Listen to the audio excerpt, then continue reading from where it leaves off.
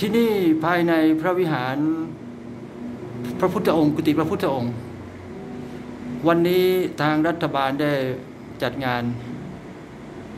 ที่วัดอินทาราม วัดจันทาราม แล้วก็วัดราชคฤห์โดยใช้การประดับไฟสวยงามมาก ต้องมาเห็นกับตา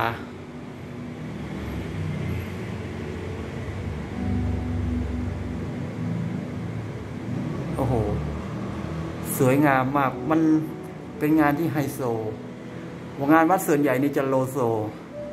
อันนี้ไฮโซ นี่ พระพุทธเจ้าปางประชุมเพลิง ปางถวายพระเพลิง สร้างแห่งแรกของธนบุรีและกรุงเทพ องค์ที่สองนั้นจะอยู่ที่วัดโพธาเตียน ในกรุงเทพมีวัดอินทารามฝั่งธนบุรี แล้วก็องค์ที่สองอยู่วัดโพธาเตียน สร้างที่หลัง นี่ สัญลักษณ์คือตรงนี้ สวยงามมาก ดอกมณฑารบดอกมณฑารบลอยลงมาเห็นไหมสังเกตไหมจิ๊กจิ๊กจิ๊กจิ๊กเป็นคำว่าคณะอาจารย์เขาทากัน คนมีปัญญาเขาทากัน นี่เขาฉายไฟส่องขึ้นมา ใครไม่ได้ดูรีบมาดูโดยเร็ว เพราะจะแสดง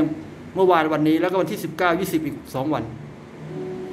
รับรับเอเปกรับเอเปกนี่พระมหากษัตริย์โอ้สวยงามมาก เป็นบุญตา